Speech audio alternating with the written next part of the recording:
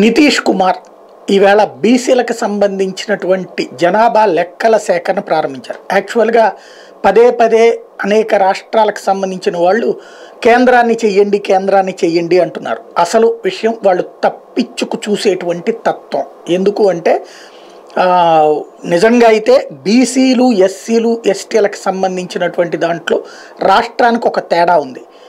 మహారాష్ట్రలో ఎస్సీలుగా ఉన్నటువంటి వాళ్ళు తెలంగాణలో బీసీలుగా ఉన్నారు. అలాగే తెలంగాణలో బీసీలుగా ఉన్నటువంటి వాళ్ళు ఆంధ్రాలో ఓసీలుగా ఉన్నారు. కాబట్టి ఒక జాతీయ జనగణన లెక్కల్లో బీసీలకు సంబంధించినటువంటి లెక్క తేలదు. ఇప్పుడు for example Narendra Modi BC కానీ తను వైశ్య సామాజిక వర్గానికి సంబంధించినటువంటి ఒక తెగ.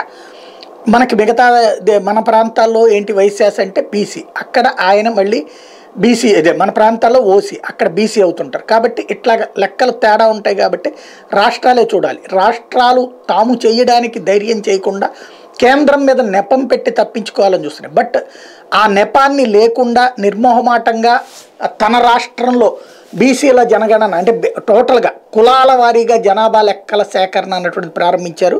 నితీష్ కుమార్. ఈ విషయం మీదన అక్కడ ఉన్నటువంటి పాట్నా హైకోర్టులో కేసేస్తే ఆ కోర- పాట్నా హైకోర్టు తిరస్కరించింది. ఈ నేపథ్యంలో అంటే విచారణకు కొంత టైం తీసుకుంటామని చెప్పింది.